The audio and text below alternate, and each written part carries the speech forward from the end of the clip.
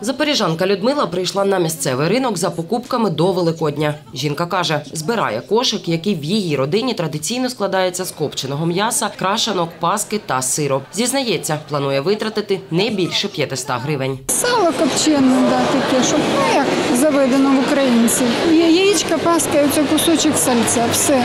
Ну, в це, в це время їсти якісь паски та там ро- розносоли, це вже не дуже актуально. Зараз війна, тоді треба лучше щось положити до кошика в ЗСУ. Зінаїда продає твердий сир. Каже, ціни за останній місяць не змінилися. Сир коштує від 380 гривень за кілограм, але охочих його придбати навіть напередодні свята небагато, говорить продавчиня.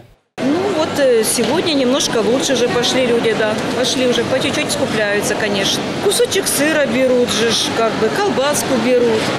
Копчене м'ясо та сало також в ціні не змінилося, говорить продавчиня Лілія Шевцова. Солоне сало її виробництва коштує 290 гривень. Копчена продукція від 300 до 350 гривень за кілограм. Лілія пояснює.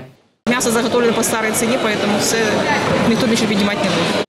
А от яйця, каже продавчиня Олена Калинюк, подешевшали. Ціна на них почала падати ще з березня. Всередині квітня вони коштували від 20 до 45 гривень за десяток. А зараз 30, 29, 25, даже по 17.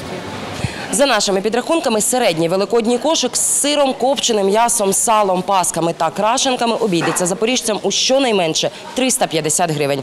Анастасія Потапенко, Геннадій Корчененко, Суспільне, Новини Запоріжжя.